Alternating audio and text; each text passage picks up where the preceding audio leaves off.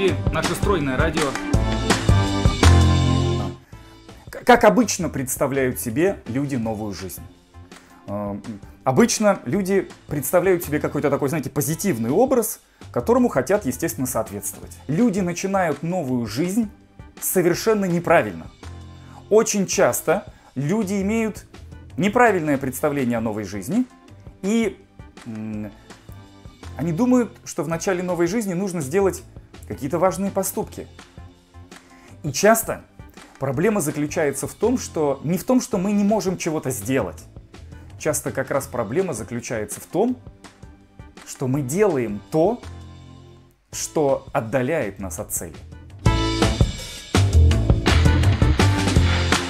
В эфире наше стройное радио. Здравствуйте, здравствуйте, уважаемые зрители, здравствуйте, сторонники здорового образа жизни. Мы продол... Э, прежде всего поздравляю всех с первым днем лета. Вот и лето пришло. И его, как известно, нельзя пустить на самотек, его нужно как-то провести. И мы предлагаем провести это лето с пользой. Еще в мае мы начали цикл эфиров, которые будут посвящены полезным привычкам. Что такого полезного, важного для здоровья и изменяющего жизнь к лучшему можно внедрить в свою жизнь для того, чтобы э, она была счастливее, для того, чтобы чувствовать себя лучше, для того, чтобы было здоровье, красота и, и главное, побольше счастья. Здравствуйте, здравствуйте, друзья. Напишите мне, пожалуйста, в комментариях, все ли нормально видно, все ли нормально слышно, все ли кнопки я нажал, неужели, неужели обошлось без позора. В этот раз мы поговорим о том, как, как заставить себя перейти на правильное питание. Как, как вот, вот знаете, иногда как бывает, люди вот пишут же, люди пишут, что все понимаю, все понимаю, все осознаю, что нужно правильно питаться, вести здоровый образ жизни, но осознаю это лежа, понимаете, осознаю это лежа на диване, и что, что еще хуже, все ваши эфиры смотрю с 1905 года. Киваю, соглашаюсь, с каждым словом соглашаюсь. Но все равно как-то не могу начать, не могу сделать поступок. А что, если я не человек поступка? А что, а что если правда? Бывают вот люди, знаете, вот на них приятно посмотреть. Вот гвозди бы делать из таких людей. Прям видно, что человек сказал, человек сделал. Что он как-то... вот, вот, вот этот человек, он не будет э, обманывать себя, обещать, еще что хуже, обещать всем окружающим, что, дескать, завтра начну. Нет, человек сказал, как отрезал знаете, хозяин своему слову. Я же в то же самое время тоже хозяин своему слову, но только немножечко в другом смысле. Потому что если я себе это слово дал, ну так как я хозяин, я могу его и как бы и забрать. А что если, а что если есть какая-то другая категория людей? А что если я не такой волевой человек, что из меня гвозди бы получились очень такие, что лучше не надо, вот такие гвозди. Что если я по природе своей какое-то апато, апатоабулическое существо. Ничего, ничего не могу довести до... Ну, как бы мысленно-то все у меня получается. А когда ходит дело до поступков, то вообще туши свет, сливай воду. А, и действительно, очень часто люди переоценивают важность силы воли и способность к поступку, особенно начиная новую жизнь. Особенно, когда человек запланировал начать новую жизнь, ему кажется, э, как обычно представляют себе люди новую жизнь. Э, обычно люди представляют себе какой-то такой, знаете, позитивный образ, которому хотят, естественно, соответствовать. Как это может выглядеть новая жизнь? Это, ну, может быть, это когда, когда она заходит в кондитерскую, знаете, пинком ноги вот так заходит в кондитерскую – не, не, не как-то, знаете, эм, как преступник, как, эм, как какой-то эм, какой тайный грешок, что-то вот нет. Заходит в кондитерскую, пинком ноги, значит, открывает двери, говорит, я, я скакала к вам три дня. Исключительно, чтобы сказать, как вы все тут мне глубоко безразличны. за, зашла к вам, чтобы плю, плюнуть, знаете, вот на это все. Вот это вот все, что вы тут наворотили, вот это все. Нисколько меня это не привлекает. Смотрю, и ничего во мне не шевелит. Вот, может быть, вот это вот так вот нужно начинать новую жизнь. Или, когда в кругу друзей, когда собрались, знаете, все подруги, друзья, и так ее и соблазняют. И так говорит, смотри, как все, какое все вкусное. Завтра начнем. Смотри, как тут все здорово. Как вообще все, все там замечательно. А она вот так вот смотрит на них, знаете, как будто немножечко свысока. И так, я, я смеюсь, знаете, вот так вот, э, с выражением, вот так вот. Я, значит, смеюсь над вами, значит, жалкие э, людишки. К- как вы можете вообще? Вот это вот все переедание, вот это все чревоугодие, гортанобесие, вот эти все, все это в, грехе живете. Значит, смотрит она вот так, знаете, у нее, знаете, от природы рост небольшой, она такая очень миниатюрная. Но в этот момент даже на самых огромных мужиков, знаете, она смотрит свысока. Свысока вот так вот смотрит, что с какой-то с какой-то такой моральной позиции смотрит на них, думает, жрете? Ах, жалкие существа.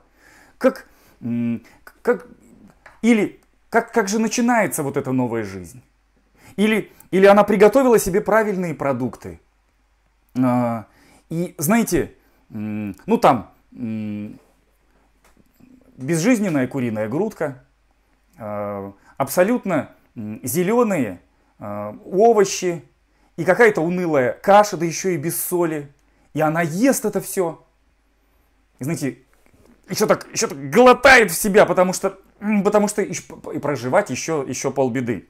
Но вот в себя это еще вот так вот, прогла... но она так берет волю свою в характер, и так вот, вот это все проглатывает, потому что я такой человек, потому что у меня есть цель, и я к этой цели иду. И я знаю, что я добьюсь результата. А что если...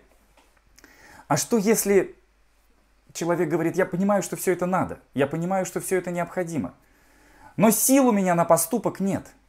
Что, что тогда? Что все, значит, уже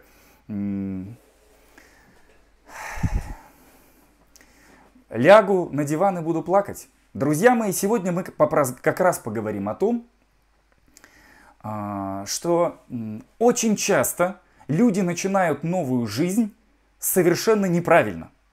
Очень часто люди имеют неправильное представление о новой жизни, и они думают, что в начале новой жизни нужно сделать какие-то важные поступки, в то время как начало новой жизни может выглядеть совершенно иначе.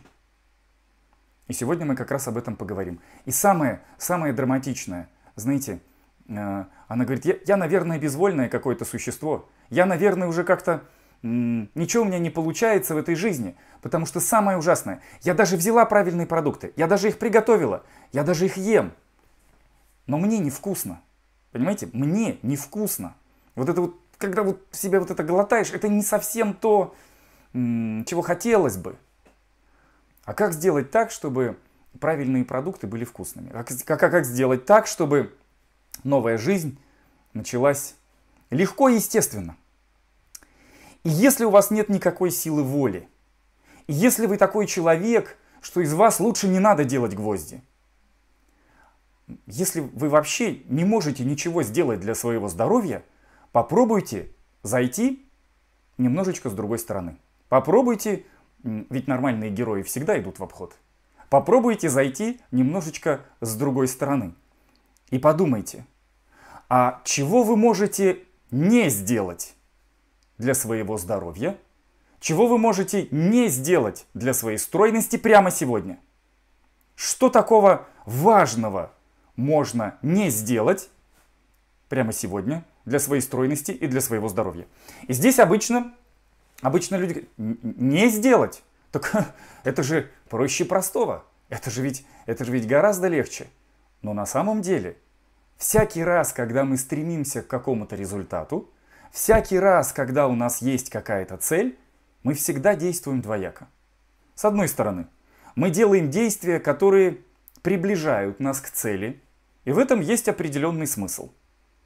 Но не, меж, не менее важная часть заключается в том, чтобы не делать действий, которые отдаляют нас от цели. И то, и другое одинаково важно. И то, и другое приближает нас к результату. И иногда не сделать что-то для своей стройности, для, для правильных привычек, для своего здоровья, иногда не сделать что-то не менее важно, а иногда даже и более важно, чем что-то сделать. Мы делаем действия, которые приближают нас к цели, и не делаем действий, которые от этой цели отдаляют. Мы делаем действия, если вы решили сбрасывать вес, то обязательно вы делаете действия, которые снижают тягу к еде. Но не менее важно, не делать действий, которые разжигают тягу к еде, которые усиливают тягу к еде, которые провоцируют тягу к еде. И всегда движение вперед – это и то, и другое. Всегда движение вперед – это в том числе не делать действия, разжигающие тягу. Если у вас проблемы со сном, и вам трудно заснуть, запомните сразу, вы должны ну, сразу делать и первое, и второе. Вы должны делать действия, которые успокаивают к вечеру, и не должны делать действий, которые ну, будоражат, которые, э, которые мешают заснуть. Мы делаем действия, которые помогают заснуть, и ни в коем случае не делаем действия, которые мешают заснуть. Мы не нарушаем последовательности наших усилий. Если вы поставили себе какую-то цель, например, сбросить вес, вы наверняка все знаете, что ключевой секрет успеха стройности заключается в том, чтобы быть в этом последовательным, чтобы каждый день последовательно и без перерывов создавать, э, ну, питаться с дефицитом калорий. Потому что дефицит калорий работает только тогда, когда вы создаете его последовательно, ну, то есть каждый день. Если вы три дня создаете дефицит калорий, а один не создаете, или еще больше едите с дьявольским э, смехом, э, это перечеркнет все усилия. Если вы три дня питаетесь дефицитом калорий, потом три дня нет, потом снова три дня с дефицитом калорий, ничего не выйдет. Есть такие есть такие приемы, которые срабатывают только в том случае, если вы последовательны. И дефицит калорий это как раз такой прием. Он работает только в том случае, если вы создаете его последовательно, ну то есть каждый день. Мы, а, если вы решили завести полезные пищевые привычки, то вы не делаете действий, которые разжигают тягу к еде. Вы не употребляете продуктов, которые провоцируют тягу. И это не цель, а первый шаг по нормализации пищевого поведения.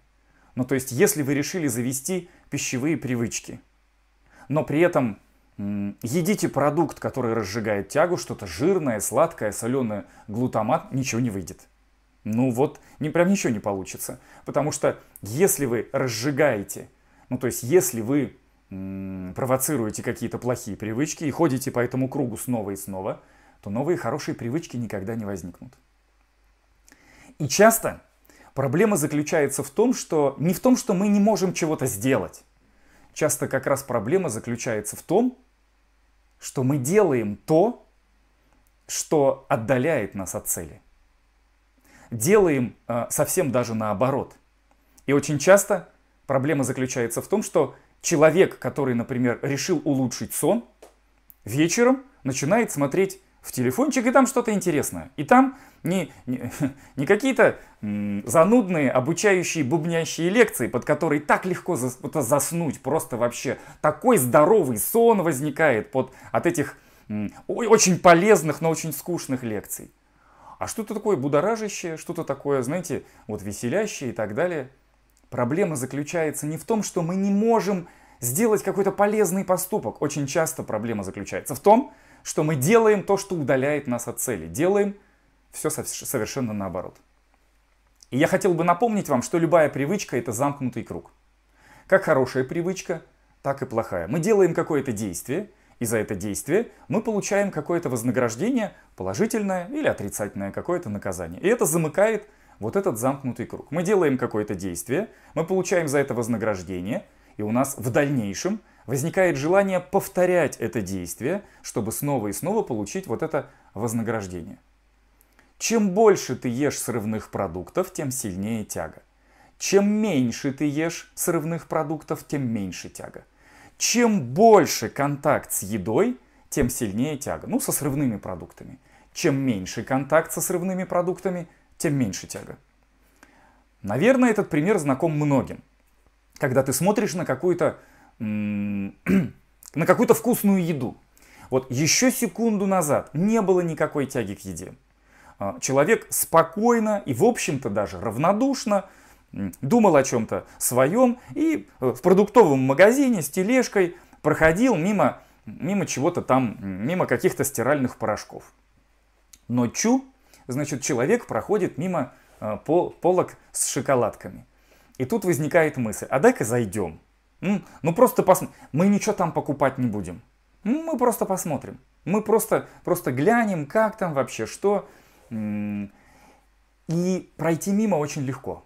В этот момент совершить правильный поступок э, и не совершить неправильного поступка. То есть не зарулить в ряд с шоколадками достаточно легко. Ну, то есть тележка, у нее уже есть инерция, она как бы катится, она еще там груженная там порошками, там еще чем-то. И как бы не зарулить э, к полке с шоколадками очень легко.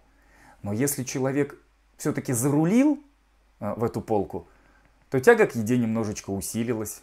Человек думает, ну тут сразу объяснения какие-то, он думает, ну я просто посмотрю.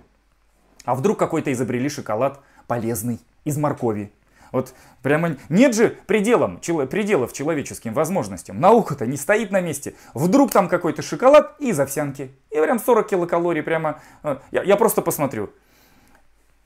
Не зайти туда очень легко.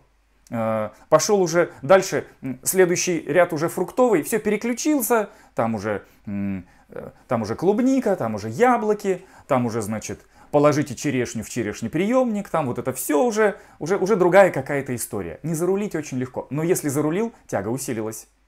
Взял шоколадочку в руки, тяга еще усилилась. Не дай бог оплатил на кассе, все, это уже дурной знак, это дурная примета. Это к слезам утром на весах. Это, знаете, это всегда такой знак, такой не очень. Эм, ну, человек думает, ну нет, ну я же не себе, я сегодня день, день защиты ребенка. Вдруг дети, вдруг внуки. Я, я про запас. Знаете, вот положу вот так вот про запас. И, и вообще, возможно, даже забуду. И так вот у меня это все пролежит. Нет. А, не. Очень сложно забыть, когда у тебя в доме какой-то срывной продукт. Потому что он зовет, потому что он говорит с тобой. И она уже вроде бы сделала все дела. И вроде бы легла спать. Ну, какой-то какой шепот с кухни. Какой-то какой-то голос какой-то такой зовет ее туда, она думает, дай-ка проверю, там кран это э, выключила или нет. Заходит, хоба, переедание. Как, как вообще это случилось? Как, как это произошло? Смотрите, на каждым своим действием она усиливает свою тягу. Каждым своим действием тяга становится все больше и больше, и в конце, ну когда уже все, уже тихо, все легли спать, уже даже, уже даже темно, и уже даже отчет на диетологу на завтра уже заполнен. Все, он уже чистый, красивый, на чистовик все написано. Вот возникает, возникает вот эта вот совершенно непреодолимая тяга к еде, и она не с неба упала. Эта тяга к еде – результат предыдущих каких-то вот этих поступков, каждый из которых усиливает тягу. Соответственно, не делать действий, усиливающих тягу – это очень важно для того, чтобы начинать новую жизнь, для того, чтобы переходить, какое-то правильное, переходить на правильное питание. Очень часто мне люди пишут, ну как, как заставить себя правильно питаться, если мне невкусно? Как заставить себя правильно питаться, если, если я так люблю все вкусное? Если, если в доме столько всего вкусного? Если э, если кругом одни соблазны? Как заставить себя правильно питаться, если прямо сейчас у меня во рту шоколад? Э, вы скажете, да не может быть! Но наверняка среди наших зрителей таких нет. Но может быть кто-то прямо сейчас смотрит наш эфир с котлетой во рту. И, и может быть прям... Я надеюсь, что эта котлета по 40 килокалорий, по метаболическому принципу, может быть и так а может быть и нет. И не делать действий, разжигающих тягу, это не менее важно, чем научиться собирать метаболическую тарелку. И если человек как бы одной частью головы думает, все, мне нужно переходить на правильное питание, потому что все согласны. Эндокринолог согласен, терапевт согласен, кардиолог согласен, даже нотариус, знаете, эм, Говорит, вам э, как бы вы, там завещание когда будете оформлять? Даже нотариус согласен уже, что э, надо все-таки там правильно питаться. Нужно все-таки что-то делать. Э, все согласны. Но я возвращаюсь из магазина, и там столько срывных продуктов, и там, конечно, все детям, внукам, мужу, это все им, это все не мне. Я, я буду есть морковь, буду есть и плакать, это все им. Но если в доме все это есть, то заставить себя перейти на правильное питание совершенно невозможно. Если, если у нее во рту кусок торта, то просто, понимаете, там нет места для чего-то полезного. И, и если он там всегда, то вообще катастрофа. И не поддерживать плохие привычки и не делать вредных действий не менее важно, чем поддерживать хорошие пищевые привычки. Есть хорошие привычки, и они работают как замкнутый круг. Есть плохие привычки, и они тоже работают по замкнутый круг, как замкнутый круг. И хотя бы не раскручивать вот этот замкнутый круг плохих привычек, это уже огромный шаг вперед. Это уже огромная, огромная польза для здоровья и для вашего будущего. Единственное решение проблемы алкоголизма заключается в том, чтобы полностью перестать употреблять алкоголь. Вот прям полностью, полностью перестать. Это, это не цель, это первый шаг. С этого все начинается. Это не то, к чему мы стремимся. Это, это первый шаг, который мы делаем. То же самое, если человек ест много продуктов, разжигающих тягу к еде, перестать делать действия, усиливающие тягу к еде, для него это шаг номер один. Очень часто, если никак не получается заставить себя правильно питаться, начните с того, чтобы не делать действий, усиливающих тягу, чтобы хотя бы не разжигать тягу к еде. Если совсем ничего не получается, попробуйте зайти с другой стороны. Чего сегодня вы можете не сделать? Для того, чтобы ваша жизнь улучшилась. Чего прямо сегодня, прямо сейчас можно не сделать для того, чтобы ваша жизнь улучшилась, для того, чтобы ваше здоровье стало лучше. Чего можно не сделать?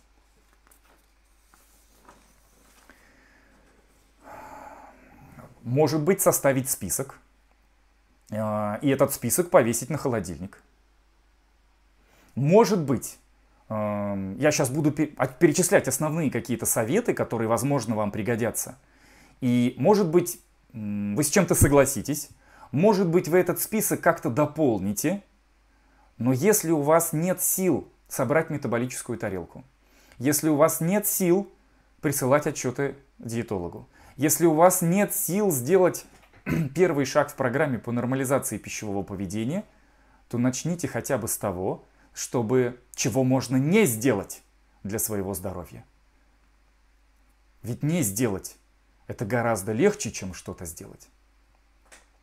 Первое, первый совет – не покупать срывных продуктов и не хранить их дома. Составьте свой список срывных продуктов. Что такое срывные продукты? Срывные продукты – это те, которые опасны не жирами, не сахарами, они опасны не калориями, а тем, что разжигают тягу к еде, тем, что провоцируют тягу к еде. Те продукты, после которых есть хочется еще больше. И чем больше их ешь, тем больше хочется. И самое удивительное заключается в том, что у каждого свои какие-то срывные продукты. Давайте уже диетолога покажем, потому что, потому что моя помощница так долго показывала все это вкусное, что у нас, знаете, у нас просмотры снизились. У нас многие люди не выдержали такого долгого видеоряда. Давайте вы, сейчас я, моей помощнице совет, чуть-чуть, значит, срывные продукты, чуть-чуть диетолог, чуть-чуть срывные продукты, и, и будет такая условно-рефлекторная терапия. Значит, все приятно, потом тошнит, потом снова приятно, снова тошнит. И как бы таким образом будем работать на бессознательном уровне. Так, такие долгие видеоряды не, не, не показываем. Итак, составить список своих срывных продуктов. Самое удивительное заключается в том, что у каждого свои срывные продукты. Кто-то без ума от сыра, но совершенно спокойно смотрит на колбасу. Кто-то без ума от колбасы, но совершенно равнодушен к сладкому. Кто-то очень любит шоколадки, но совершенно равнодушен к орешкам. А какие продукты срывные у вас? И попробуйте. Попробуйте в течение какого-то времени не покупать срывные продукты и не хранить их дома, а вместо срывных продуктов, очень важная сейчас будет фраза, постарайтесь найти несрывное вкусное. Постарайтесь найти несрывное вкусное. Напоминаю, мы всегда делаем два действия. Мы никогда не делаем одно действие. Просто убрали срывные продукты. Грустно, хочется плакать. Хочется, не дай бог, еще полная луна. Сразу хочется взвыть. Знаете, вот, вот так вот бывает, что вроде, вроде правильное питание, вроде, вроде все соблюдаешь, вроде прям молодец. Э, вечером смотришь полная луна, и, и как бы и опа, и забыл. Значит, что-то делаешь неправильно. Значит, что-то все-таки ты делаешь не то. И запомните простую вещь. Всегда делаем два действия одновременно. Мы не только убираем срывные продукты, мы вместо них покупаем несрывное вкусное. Прям выясняем для себя, а какие продукты для меня вкусные, но не срывные. А, не покупать срывных продуктов и не хранить их дома. Иногда просто навести порядок в своем доме – это уже огромный шаг вперед, потому что очень часто в доме много срывных продуктов, и если мы их передарили, отдали друзьям и подругам, которым вы хотите, чтобы к ним перешел избыточный вес. Если у вас в доме нет срывных продуктов, а вместо них много несрывного вкусного, с истекающим сроком действия, и это несрывное вкусное говорит, или мы сейчас поедим правильно, или продукты испортятся, то это как бы создает правильный вектор. Это создает некую интенцию, это создает некое такое, ди, такое диетологическое, такой, знаете, диетологический ветер в сторону пляжа. Еще нет, еще она лежит на диване, еще ничто в ней не шелохнулось. Но она знает, что там в холодильнике у нее не срывные, но вкусные продукты, которые либо съесть сегодня, либо завтра они испортятся.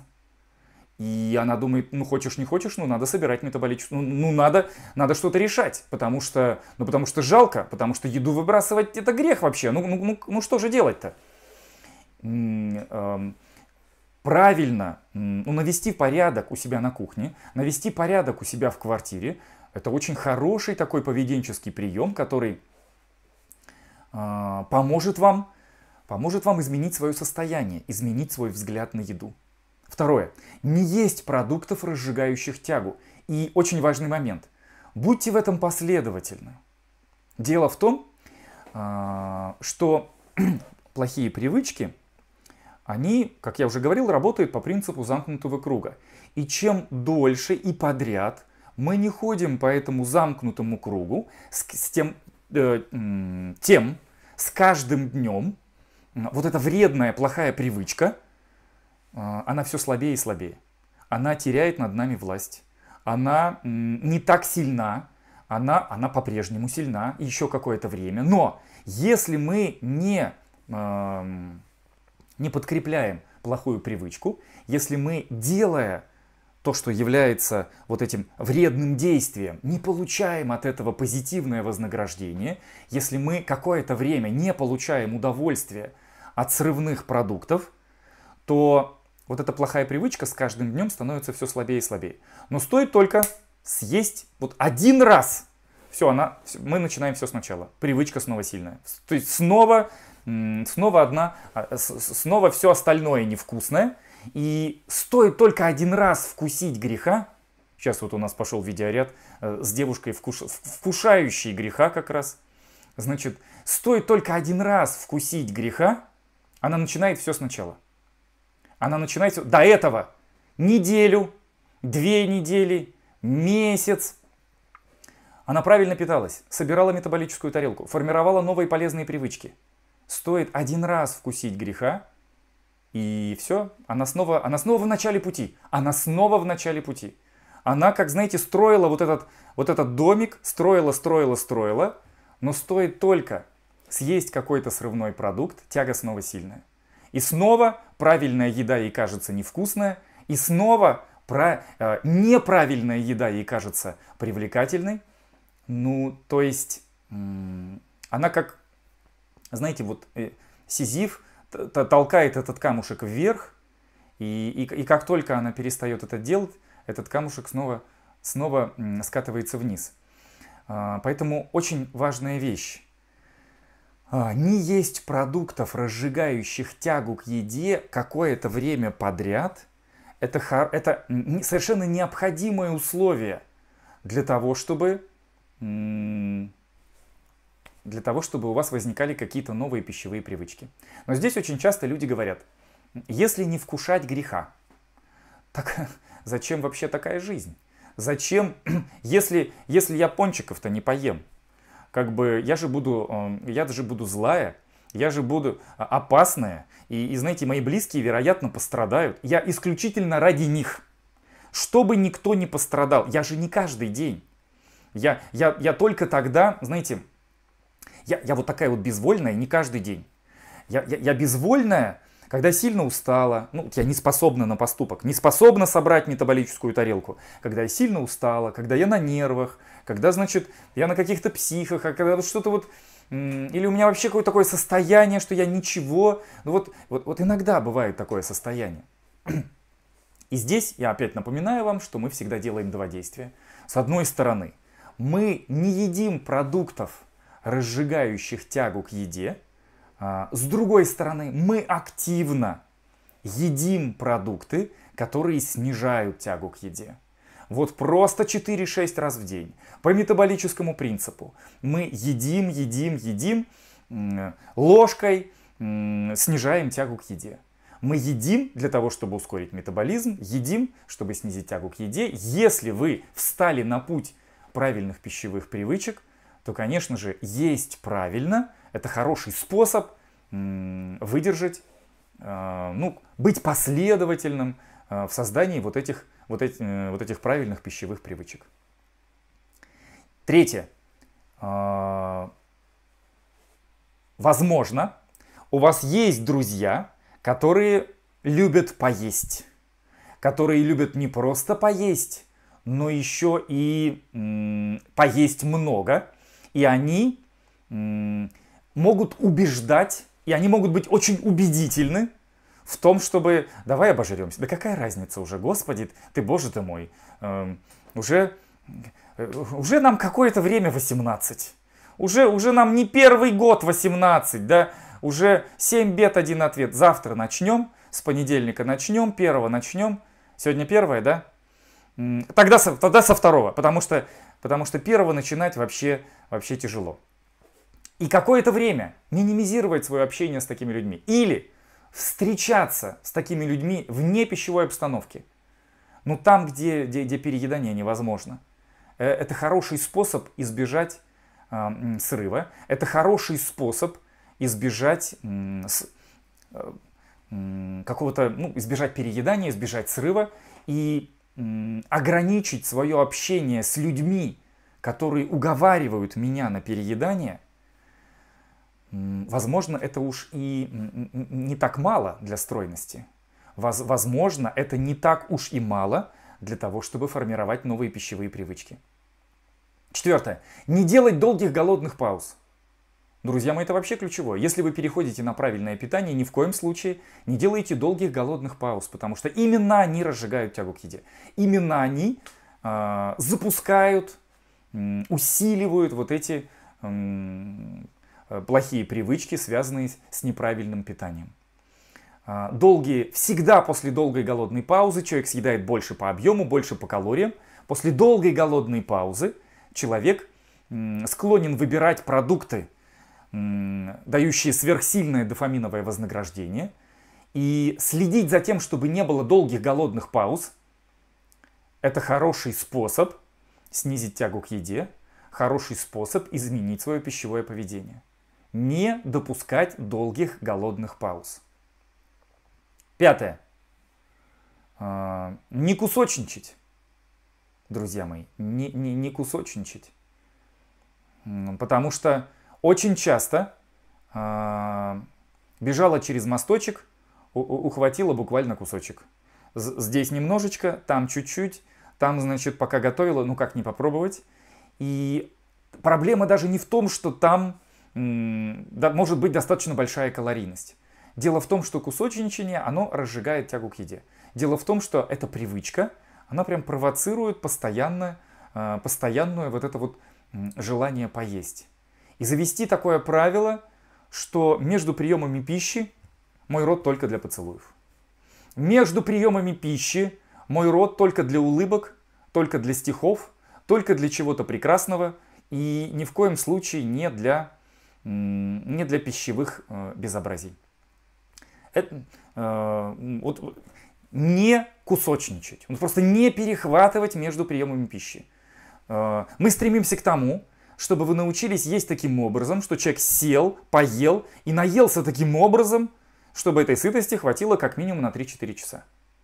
И даже если он что-то плохо лежит, и даже если, эм, ну там осталось, господи, ну не выбрасывать же, и даже если, э, да подумаешь, вот нет, будьте в этом принципиальны, не кусочничайте. И это сильно снизит тягу к еде, и это поможет вам перейти на правильное пищевое поведение.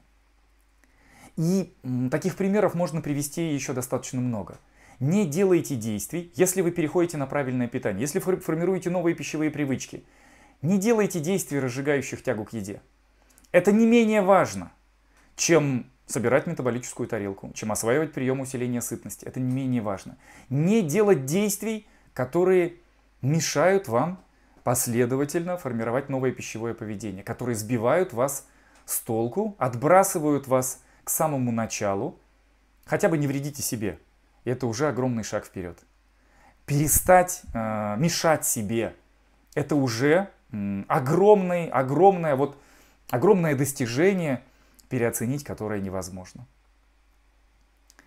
И если э, какое-то время подряд ты не делаешь действий, усиливающих тягу, если какое-то время подряд ты не делаешь действий, которые перечеркивают все твои усилия и мешают тебе ну, формировать новые какие-то привычки, то вдруг ты замечаешь, что твое состояние меняется. Вдруг ты замечаешь, что правильная еда становится вкуснее.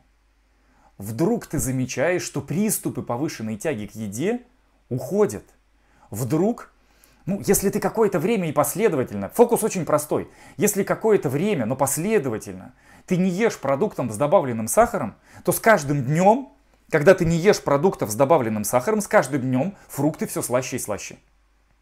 И, и, и, и вот, вот эта вот история, что я пробовала правильно питаться, но мне невкусно, Вдруг, если ты какое-то время не делаешь действий, которые перечеркивают твои усилия, если какое-то время ты не вредишь себе, вдруг ты ешь правильные продукты, ты ловишь себя на том, что ты ешь правильные продукты, и тебе вкусно. И, и, и у тебя в душе какая-то надежда, что смотри-ка, может быть, может быть, все-таки все-таки у меня получится, может быть, может быть, я все-таки справлюсь, может быть, может быть, все-таки, ну, ну, ну, не совсем гвозди, знаете, из меня вот, ну, ну вот нет, вот и сила есть, и воля нет, и есть, вот силы воли нет, но, но может быть, у меня просто какой-то свой путь, может быть, действительно, нормальные герои всегда идут в обход, и может быть мне, ну, то есть тебе, нужно начинать не с поступка, нужно начинать не с того, что ты можешь сделать.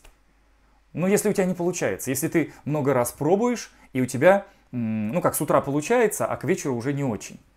Может быть тебе нужно начать с того, что можно не сделать для своей стройности. Чего можно не сделать для своего здоровья прямо сегодня. Чего сосредоточьтесь на том, чего можно не сделать для своего здоровья прямо сегодня. Если друзья мои, это не про вас. Но иногда, иногда мне пишут люди, которые говорят, я безвольное чудовище. Я ничего не могу, у меня ничего не получается, все плохо. а, а будет еще хуже, все ужасно.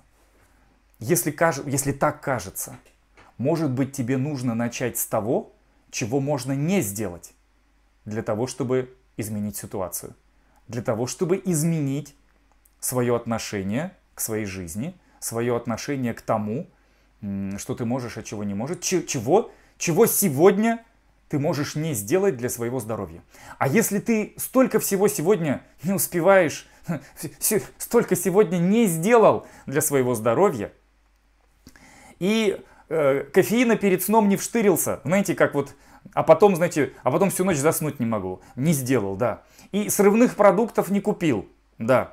И э, с подругой, которая подбивает на, на скоромное и на всякие безобразия, не встретил, столько дел сегодня – и подруги звали, говорят, приходи, давай обожремся, мы, без тебя скучно. А я, а я говорю, у меня уборка, значит, все. А если так много нужно не сделать для своего здоровья, что прямо не в проворот, то, что вы не успели сегодня не сделать, вы, вы прям откладываете на завтра. Э, тоже хорошая стратегия. Откладывайте на завтра. Э, Эм, торт надо было купить. Все-таки день защиты ребенка, торт надо было купить. Не успела. Не купила, отложила на завтра. Отложила на завтра. Завтра не знаю. Сегодня не купила. Сегодня вот сделала какие-то вкусные десерты на сладкую точку. И, и, после, э, и, и после тарелки их поела. Сосредоточьтесь на том, если вам кажется, что у меня ничего не получается. Если вам кажется, что это все не для меня. Правильное пищевое поведение, здоровый образ жизни, это все звучит даже грустно. Не то чтобы выполнять какие-то советы, собрать тарелку 4-6 раз в день, вот это все э, так далеко от меня. Начните с того, чего сегодня можно не сделать для своего здоровья. Составьте список и прям по списочку это все, пожалуйста, не делайте. Не делайте действий, которые отталкивают, которые отбрасывают вас к самому началу. Не делайте действий, которые мешают идти вам к цели. Не делайте действий, которые разрешают ваше здоровье, а, которые усиливают какие-то вредные привычки, и это уже будет огромный шаг вперед. И очень важный момент еще, друзья мои, в конце. Не забывайте себя за это хвалить. Вот это прям очень важно, потому что то, что сделал, ну тут как-то легко себя похвалить, да? А знаете, как люди говорят иногда, вот за то, что не сделал, вот как себя похвалить? Вот как можно похвалить себя за то, что ты чего-то сегодня не сделал? Ну ведь давайте задумаемся. Вот это, друзья мои, не про вас. Но вот для алкоголика не выпить водки, ведь это подвиг. Подвиг. Ну для какого-то, знаете, человека, который ну, есть какая-то вредная привычка. Ну, тут он там курит или алкоголь какой-то употребляет. Ну вот день без курения, ведь это подвиг. Почему мы так обесцениваем, почему мы так обесцениваем то, что мы не делаем? Ведь очень часто не сделать что-то для своего здоровья, это очень важно, и здесь есть чем гордиться.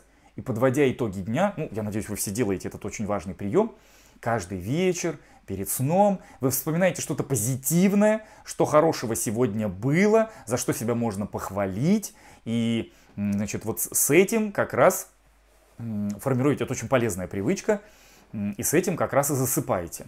И вот перебирая события дня, отметьте, чего такого полезного и важного вы не сделали для своего здоровья.